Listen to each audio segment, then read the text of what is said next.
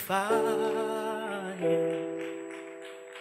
I want more of your fire. Consume me, Lord, with your fire. I want more of your fire.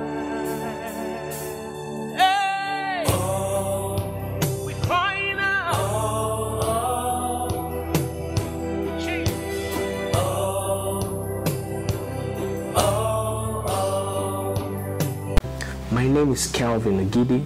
I'm a voice of hope, voice of love, a transformational vocalist, a worship leader, and above all, a child of God. How did it all start in wine music? Growing up, I was in a choir, you know, children's choir, and music singing actually came as a natural gift and talent.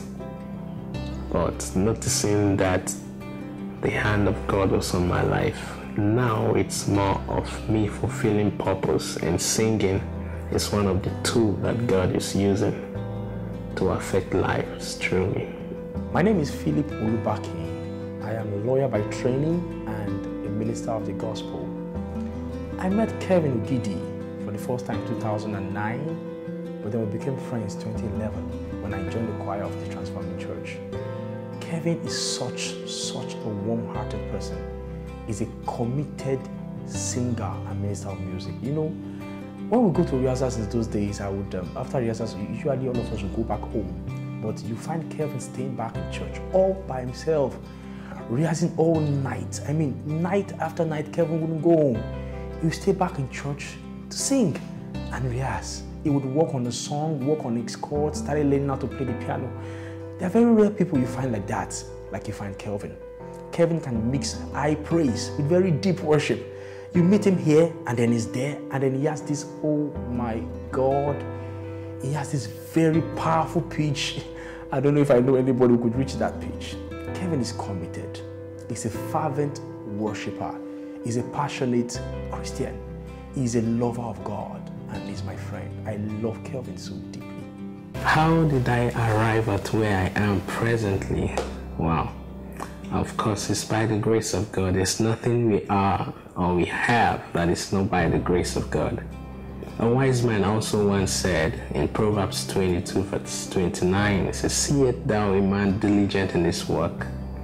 Um, it has been God all the way and also commit has taken commitment, you know, some level of hard work, focus, despite the challenges you get focused on what God has called you for and to do and not giving up, you know, you have to have, be able to stay on the conviction that you have, knowing that this is what God has called me to do. So it has taken years of, of some level of hard work, commitment, deliberate uh, commitment, you know, and focus to achieving what God has in store for me. A big God deserves to be mighty praised. And with every breath in my heart, I just can't wait to give him the praise that is due him because he is my oxygen. Come on. What project am I currently working on? Well, I'm working on my debut album. God has shared some songs with me in the closet, and it's time, He told me, to release it to the world. And it's the Living Water album. Yeah, He told me to call it that. He said everything answers to its name, and this is what I want to do with these songs I've given you. Um, the book of Ezekiel 47, verse 9 exactly is what he said will be happening. Wherever this water goes, it will bring healing, deliverance. It will bring intimacy between man and God. Whatever you want, Living Water album, whatever your desire is, it's going to be that to you. And that's what I'm working on. It's it's done, and um, we'll soon be releasing it out as God will allow us to. My name is Ifeoluwa Abiodun Ajayi, aka IP Ajayi, aka IP Sound.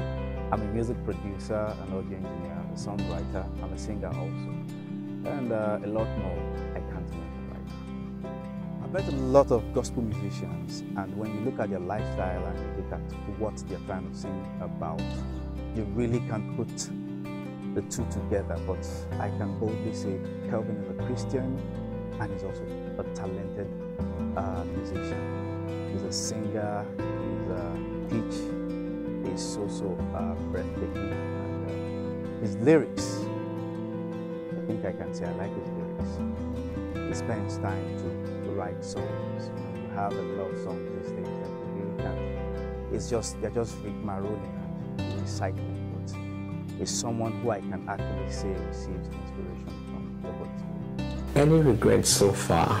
Definitely not. Uh, there's no regret at all. Of course, there were quite some challenging times, some difficult times, you know, but no regret at all. No regret.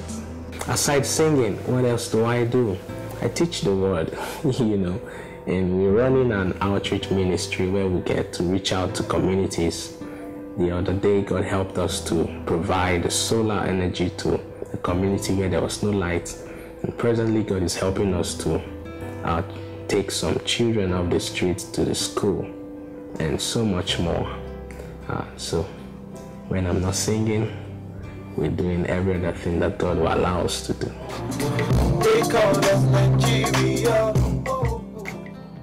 Hello, my name is Manus. I'm a music producer, a music arranger, vocal coach, vocal arranger. Um, I'm a talent hunter and also a music entrepreneur. So basically, I live music, I eat music, I sleep music, I, I am music.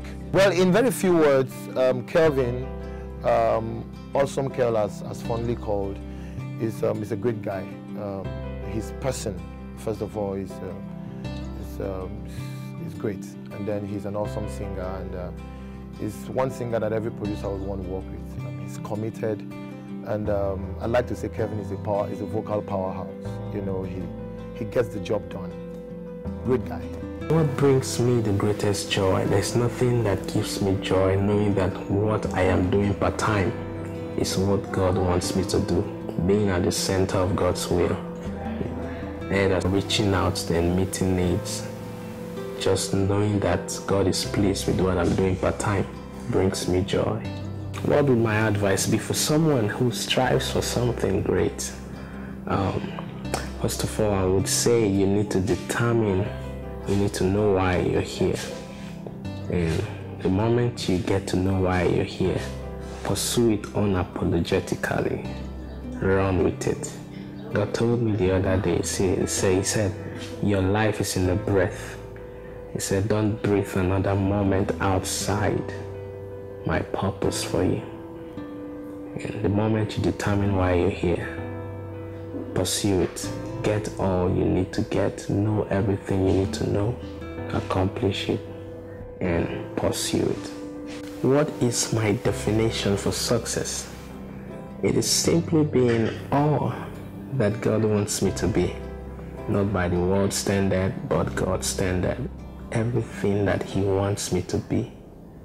See myself being it makes me successful.